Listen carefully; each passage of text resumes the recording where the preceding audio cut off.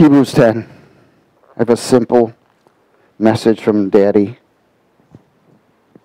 Something he wants to warn us and prepare us about.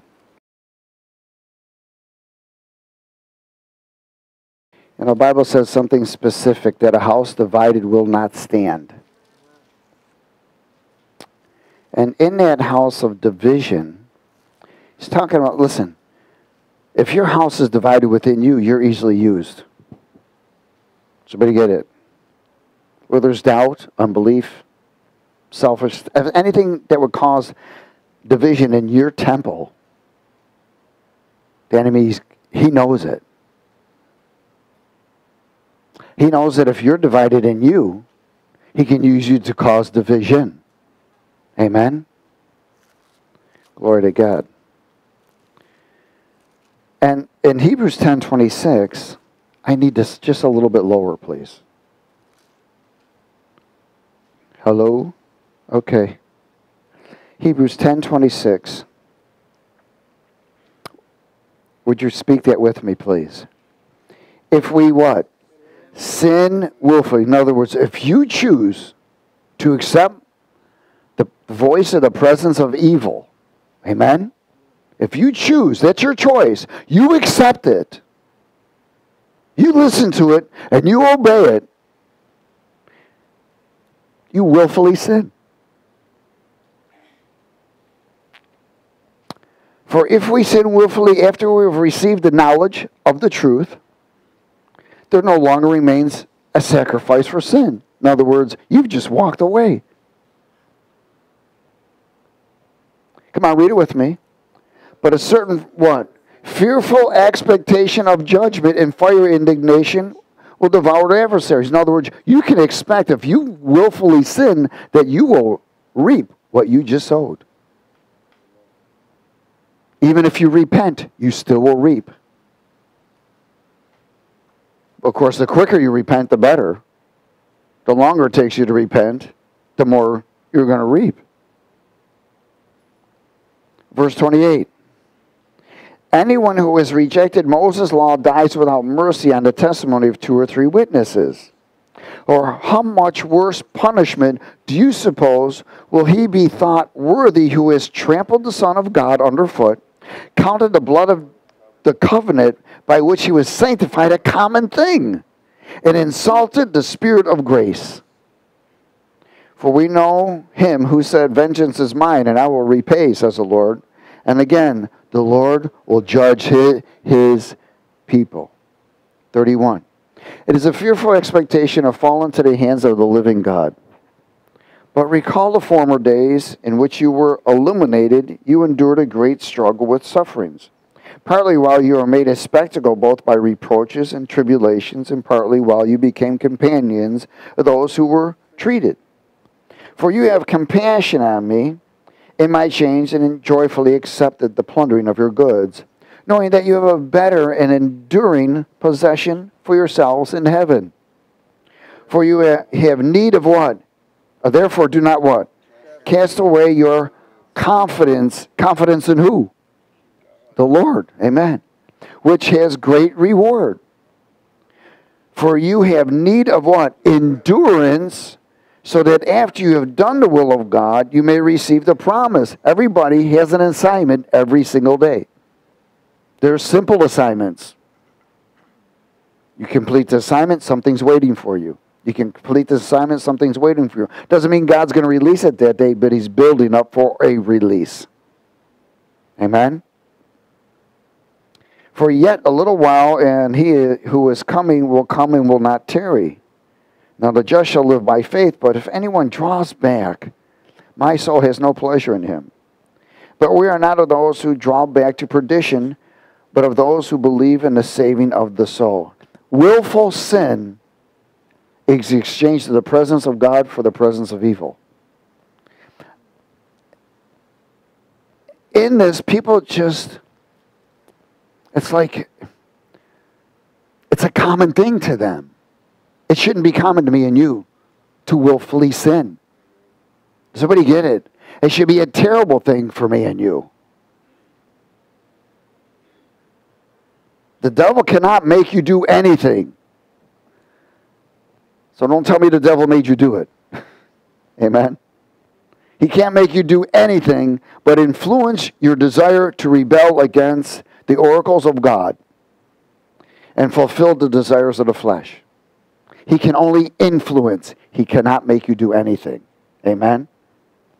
In this, individuals reject the character of Christ. And then are unable to reach a level of conversion. And we've talked about this before. What are you converting? Your soul. Your soul. Your soul become contaminated. Am I able to reach the level of conversion to what? Overcome the use of harmful tongue, the use of harmful attitude. People become the reactors instead of responders. They're always in a state of recovering from sowing in the flesh. It's like they can never get out of it. It's constant. They're self promoters, short sighted, arrogant, and prideful. They're living out of head knowledge and the corruptible side of the soul and not of the spirit. In this, the person comes into a place of instability, can't hold on to discipline, and they're inconsistent. Willfully sin. Let me tell you, the Bible says a little leaven leavens the whole lump. A little leaven leavens the whole lump. It just takes a little bit of influence, a little bit of compromise, and there's willful sin. Again, everyone say, the devil cannot make me do anything. That means you got a choice. And if you have a choice and you're choosing to sin, accept the voice of the stranger, then it's willful sin. You are walking away from the presence of God and you're exchanging the presence of God for the presence of evil. Amen? 1 Samuel 15. 1 Samuel 15, 22.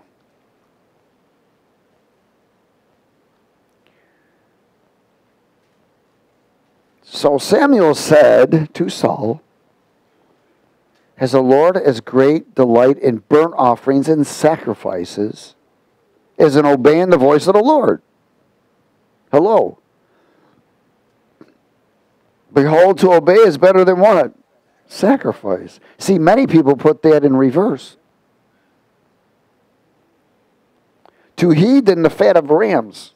For rebellion is as a sin of what? Witchcraft. So willful sin is witchcraft. Why? Because it's influenced by the presence of evil. And stubbornness is an iniquity which brings a what? Curse and idolatry. In other words, an idol. Because you've rejected the word of the Lord, he will reject you from being a king. Now check that out. That is a position of authority as a warrior. Does the enemy know that? Oh, yes, he does. He's just waiting for the next open door. Rebellion is of sin, stubbornness is a curse, and the idol of self. Again, fear and pride is religious spirits that have a form of godliness with no power over selfish desires, lack of endurance. Remember, there's something important that we must understand.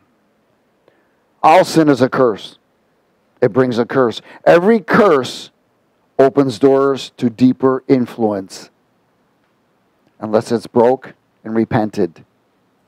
Now, remember, repentance means turn away. So if you keep repeating the same old thing again, there is no repentance. In fact, many have sought that with tears, and God couldn't forgive them because they kept doing the same thing. Matthew 7. Don't blame somebody else for your reactions. You are responsible for you. That's why the Bible says you must work out your own salvation.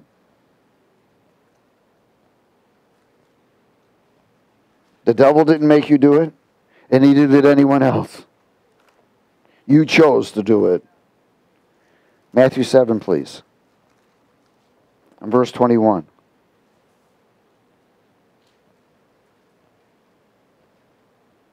You know, the word says a curse without a cause has no effect. but if you cause the curse, what's the enemy trying to do? Get you to get cursed. Verse 21 Not everyone who says to me, Lord, Lord, shall enter the kingdom of heaven, but he who does the will of my Father in heaven. Many will say to me in that day, Lord, Lord, have we not prophesied in your name? Have we not cast out demons in your name? Have we not done many wonders in your name? Have you not allowed me to pray for people? Have you not allowed me to feed people? Have you not allowed all these things? I've passed out Bibles. I've done all of these things, Lord.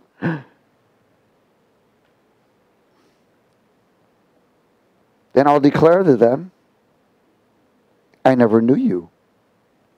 Depart from me. Depart what? Depart from me, you who practice what?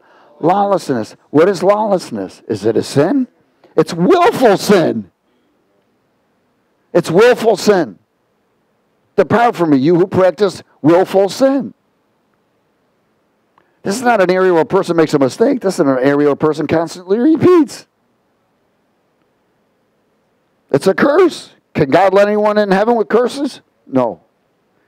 Therefore, whoever hears these sayings of mine and does them, hello, I will liken him to be a wise man who built his house on the rock. The rain descended, the floods came, and the winds blew, beat on the house, and it did not fall, for it is founded on the rock. But everyone who hears these sayings of mine and does not do them will be like a foolish man who built his house on the sand. That means it's constantly divided. And the rain descended, the floods came, and the winds blew and beat on that house, and it fell, and great was its fall. Again, lawlessness is rebellion. It is willful sin, opens the door to a curse. Whether you know it or not. Does everybody understand that? Whether you know it or not, it's still, the enemy knows. You know, the word warns us about cursing with our tongues. Out of your mouth will expose you. You'll know them by their fruits. You'll know them by their words. You'll know them by their desires. You'll know them. Amen? James chapter 1. Lack of self examination. People are looking at everybody else's plank in their, their eyes when they got national grand forests in their own. Verse 19. Let's speak it. So then, uh, chapter 1, verse 19. So then, my beloved brethren, let everyone, every man be what? Swift to what? Hear. Slow to speak. Oh my God, help us. Slow to what? Wrath. Hallelujah. Why? Because if they would hear, they wouldn't do it. For the wrath of man does not produce the righteousness of God. Oh, hallelujah. Therefore, lay aside all filthiness and overflow of wickedness and receive with meekness the implanted word which is able to save your souls. Now, is this Bible speaking to an unbeliever or a believer? Believers. But be doers of the word, meaning obedient, and not just hearers, deceiving yourself. For if anyone is a hearer of the word and not a doer, he is like a man observing his natural face in a mirror, his natural face. For he observes himself, goes away, and immediately forgets what kind of man he was. But he who looks in the perfect law of liberty, freedom, and continues in it, is not a forgetful hearer, nor is he a forgetful doer. this one will be blessed in what he does. If any of you among you thinks he's religious and does not bridle his tongue, but deceives his own heart, this one's religion is useless pure and undefiled religion for God and the Father is to visit orphans, widows in their trouble, and to what? Keep oneself unspotted from the influence of the world. Whoa. Willfully rejects the divine order of God's word. Can't walk what they talk. Oh, the good talkers, but not walkers. Amen. Puffed up by knowledge living out of the head, not out of the spirit. Hebrews 12. Verse 25, please. Hebrews 12, 25. Let's speak it together. See that you do not refuse him who speaks. For if they did not escape who refused him who spoke on earth, much more shall we not escape if we turn away from him who speaks from heaven, whose voice then shook the earth. But now he has promised, saying, Yet once more I shake not only the earth, but also the heaven. Now, this yet once more indicates the removal of those things that are being shaken as the things that are made, that the things which cannot be shaken may what? Remain.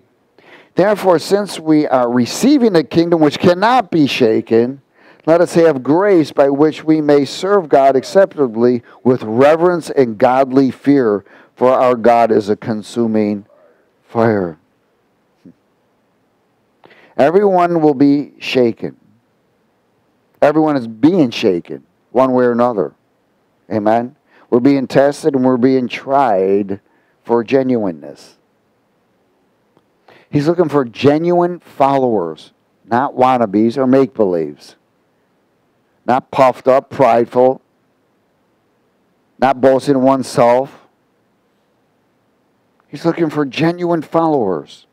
Amen. Faithful to the end. That complete every assignment. And they're keepers of their vows. I'm going to say that again keepers of their vows. It's amazing at how many people make a commitment and then break it. Like, that's okay. Having no idea that they have become accursed. Even when they repent, they still will reap. Does everybody understand that? If you ever notice, you never you stop paying a bill. Amen. You might have repented to God, but they're still coming after you, aren't they? God might say, Yeah, I forgive you, but you're going to still reap and you're going to still pay it. Hallelujah. Psalm 36.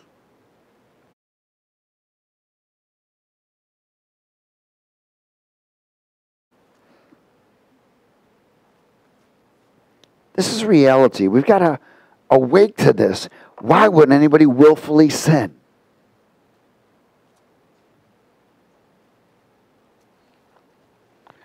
I just couldn't help myself. Yes, that word self was there. No dominion.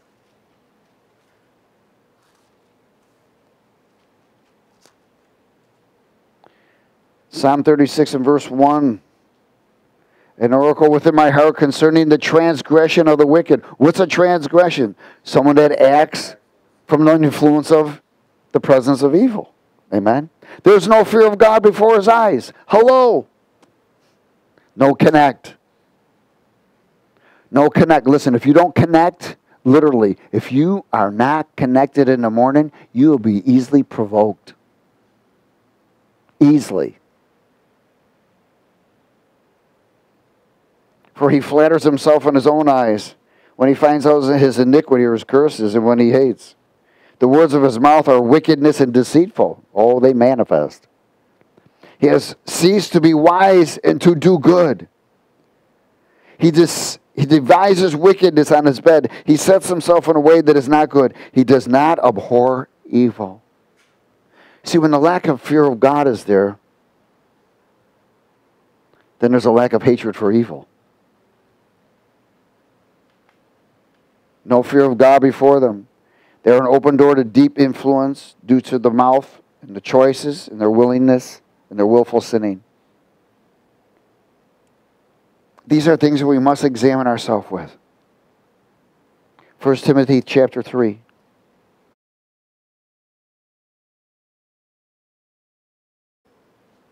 know, the Bible says that unless the Lord builds a house, we labor in vain. Amen? We must allow Him to build that house. That's us. In verse 1. Is everybody there?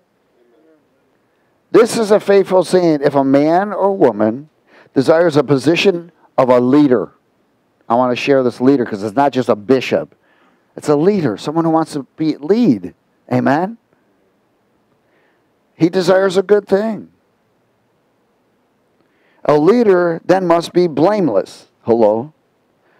A husband of one wife, temperate, sober minded, of good behavior, hospitable, and able to teach, not given to wine, not violent, not greedy for money, but what? Gentle, not quarrelsome, not covetous, covetous. One who rules his own house. Hello? Well, his own what? Temple. And having his children in submission with all reverence. For if a man does not know how to rule his own house, how will he take care of the church of God? That's powerful. Not a novice, that's being puffed up with pride. He fall into the same condemnation as the devil. Now, this is powerful. Moreover, he must have a what? Good testimony among those who are outside, lest he fall into reproach and the snare of the devil. Desire to be a leader, it's a good thing. But you can't be a leader without ruling your own temper. You'll never become a leader until you have rule over your own temple. You haven't earned that position yet to tell people what to do and how to do it. Somebody okay? That individuals are puffed up by knowledge, even by experiences. Hey, you can have loads of experience, man. Anybody can, anybody can pray for someone and something happen. Amen? Even God uses animals.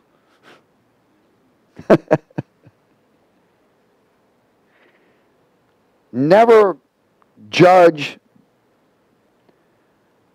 by what God does, judge by fruits of the person. Amen? I do not judge by miracles. I do not judge by anything else. People got testimonies, that's cool, but I still don't judge by the testimony. I judge by the fruits of an individual. And so should everybody else. We are fruit inspectors. Amen? They're puffed up by knowledge, talents, abilities to be even used by God. But they carry great words of carnality. and it's carnal wisdom.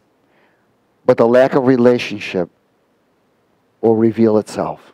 Amen. The lack of connect will reveal itself. Isaiah 47.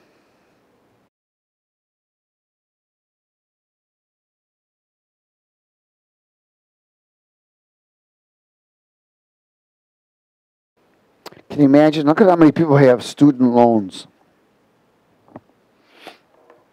And most of them is because they didn't finish. They go to school, they get a loan. Ah, that's enough. I'm good. okay. So you didn't complete it when God sent you there and made a way for you to get a grant. Amen. Many people get grants and then they have to pay them back because they didn't complete.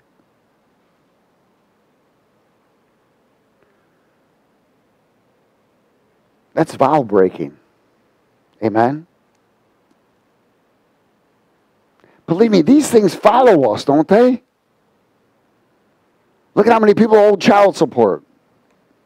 That follows us. Thank God that's over.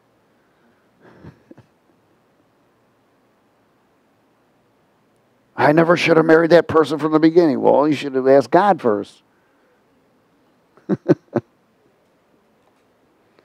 I didn't know God. Yeah, that's a bummer. you know him now, you can repent anyways.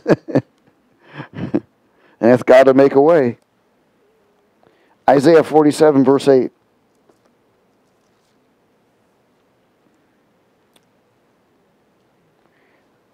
Let's speak it, please. Therefore, hear this now, you who are given to pleasures, who dwell securely, who say in your heart, I am, and there is no one else besides me. Oh, my goodness. I shall not sit as a widow, nor shall I know the loss of children. In other words, we're going to be together. These two things shall come to you, he says. In a moment, in one day, the loss of children and widow. They shall come upon you in their fullness because of the multitude of your what? Sorcery or your witchcraft. Does everybody get it? Look at now, remember, sorcery is also associated with black magic, witchcraft, sorcery, which is what? Pharmakeia, which is drugs. Look what it does. This is exactly what it does right here. Amen. Causes divorces, causes separations, causes loss of children. Well, let me tell you, rebellion will do the same thing because it's willful sin. Because of the multitude of your sorceries, for the great abundance of your enchantments. For you have trusted in your wickedness, and you have said, No one sees me. Your wisdom and your knowledge have warped you. You have said in your heart, I am, and there is no one else beside me. Therefore, evil shall come upon you. You shall not know from where it arises. And trouble shall fall upon you, and you will not be able to put it off. And desolation will come upon you suddenly, which you shall not know. Now, that's pretty intense, isn't it? That'll put shaking in people. Rebellion is addic- an addiction, divorce, loss of children. Whether you know it or not, it's happening. Most of the time when we were out there using and doing all kinds of stuff, it was a moment of false pleasure. Amen. Not realizing the reaping and the consequences of everything that we were doing. People unknowingly practice evil with a deep influence from evil because of the curse of willful sinning. Matthew 22, verse 1. And Jesus answered and spoke to them again by parables, and said, The kingdom of heaven is like a certain king who arranged a marriage for his son, and sent out his servants to call those who were invited. Invited means called to the wedding, and they were not willing to come. Again, he sent out other servants, saying, Tell those who are invited or called, See, I have prepared my dinner, my oxen and fatted cattle are killed, and all things are ready. Come to the wedding. But they made what? light of it. Why? No reverence. Lack of reverence. They made light of it. And they went their own ways. One to his own farm, another to his business. And the rest seized his servants, treated them spitefully, and killed them. But when the king heard about it, he was furious. And he sent out his armies, destroyed those murderers, and burned up their city. Then he said to his servants, The wedding is ready, but those who were called, were invited, were not worthy. Therefore, go into the highways, and as many as you find, invite to the wedding. So those servants went out into the highways and gathered together all whom they found, both bad and good. And the wedding hall was filled with guests. But when the king came in to see the guests, he saw a man there that did not have the on wedding garments. In other words, his garments were different. They were defiled. So he said to him, Friend, know, he said it to Judas, Friend, how did you come into here without a wedding garment? And he was speechless. And the king said to the servant, Bind him hand and foot Take him away and cast him into outer darkness. There will be weeping and gnashing of teeth, for many are called or invited, but few are chosen. They were not serious. They didn't comprehend the consequences of the reaping. Many were invited into the training, but not many completed. Hello? Many invited into the training, but not many completed. Romans 16.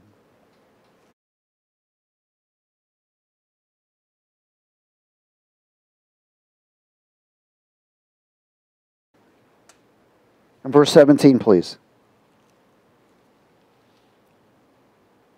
Let's speak it now. I urge you, brother, note those who cause divisions and offenses contrary to the doctrine which you learned, and what? Avoid them. Listen, you know somebody's whatever, avoid them. Don't go provoke, avoid. Let God deal with them. Amen? Avoid them. For those who are such do not serve our Lord Jesus Christ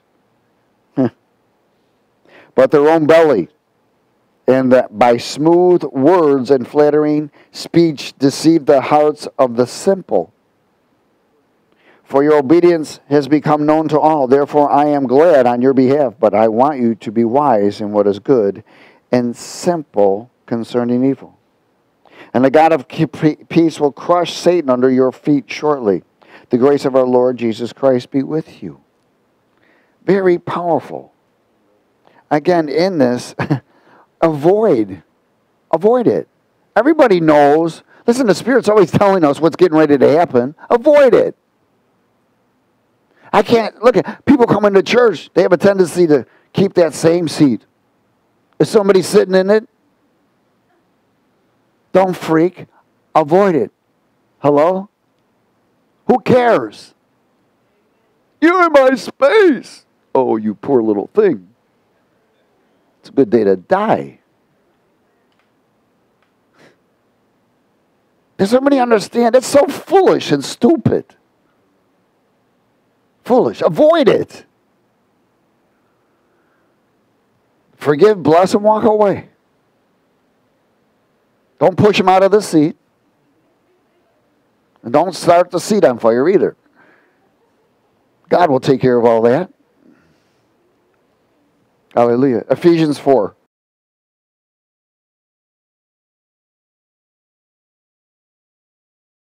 Avoid those that are rebellious, willful sinning, proud, arrogant, and ugly. Because when an individual's like that, they're ugly. Ephesians 4. We've heard the saying the good, the bad, and the ugly, right?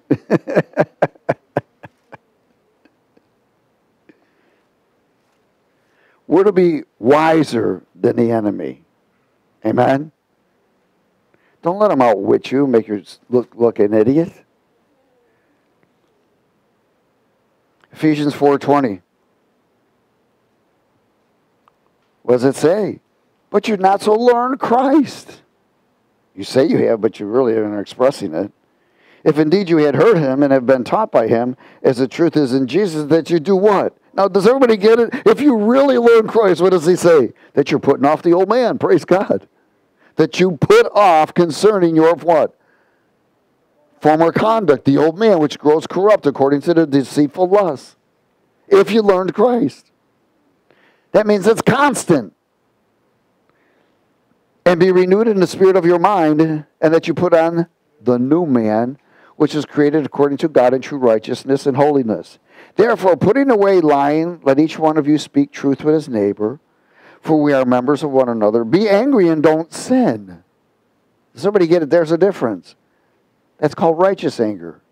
You don't express it. Amen. You might get angry within. Man, forget it. It ain't worth it. I forgive and I bless. God will take care of it. Why? Because I know that when I do that, God's fiery coals are going to come on that person somehow. Something's going to happen. I don't have to fight that battle. Somebody get it? But because of pride, my flesh is bigger than yours. Hello?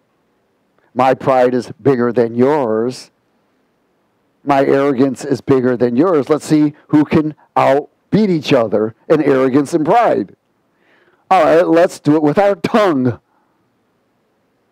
Spitting on each one, each other and everyone else and spewing everything and just doesn't gratify. It's false, foolish. Amen? Hallelujah. Oh, glory. Let's go a little further here. Verse 27, what does it say?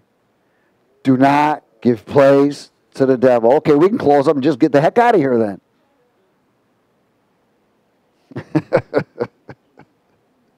Do not give place to the devil.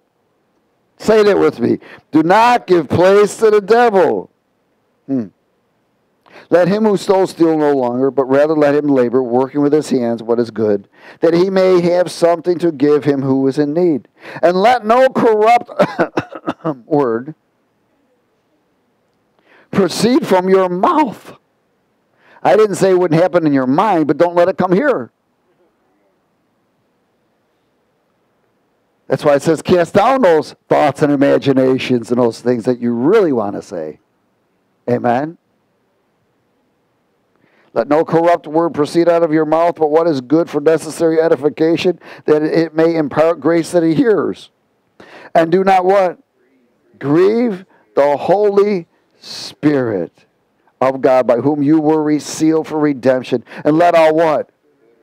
Bitterness. Everyone say it with me. Let all bitterness, wrath, anger, clamor, evil speaking be put away from you with all malice. And be what? Oh my goodness, be kind to one another. yes. Be kind to one another, tender hearted even, forgiving one another, even as God in Christ forgave you. Not accepted. See, when it learn, not learning Christ means not accepting the true reality of Christ's integrity and his character, his humility and his surrender, not accepting it. Still can't deny self, missing the meeting place of full exchange, not willing to turn from rebellious sin. Still proving and promoting self. Listen, when uh, things occur, don't blame anything or anyone. Amen? And if you're at a, a, a, crossing and the light turns red, it means don't walk across. Does everybody get it? If you choose to walk across and get hit by a car, you cannot blame the driver.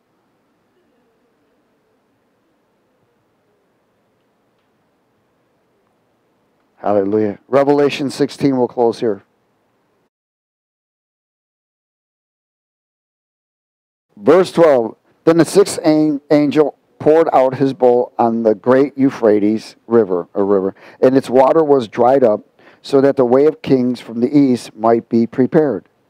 And I saw three unclean spirits like frogs coming out of the mouth of the dragon, out of the mouth of the beast, and out of the mouth of the false prophet.